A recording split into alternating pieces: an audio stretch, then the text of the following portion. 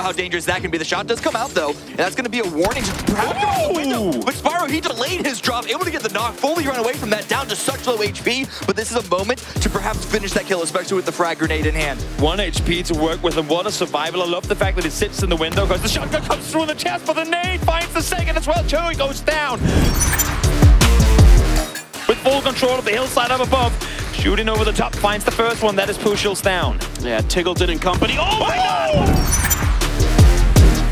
Engagement is might be overwhelmed, but AZ with the underhand grenade, this one could be good.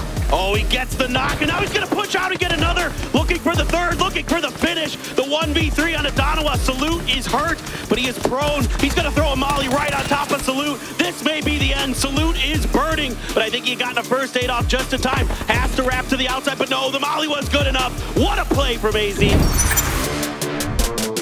It's not perfect. They're getting knocks against them, but they are making it work time and time again. But Apocalypse with a very, very good return knock on Kurt. Nice double headshot coming through, gets the flush instantly as well. Molly should take out Rune. We'll see if the man can do anything. No, Halo able to find the first. Apocalypse not in the position to cover him at all. Vegas now spots the second down to have HP. They know the connection was there. Push forward, aggress forward, get the final kill down. Slow HP, no!